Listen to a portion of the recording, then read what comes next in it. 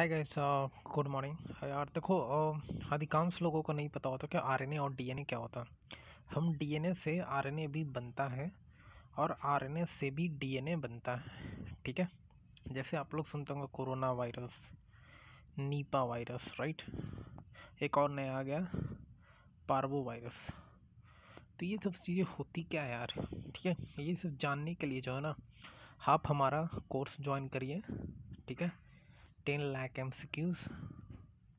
at the rate of hundred rupees आपको वहीं पे बताई जाएगी ठीक है?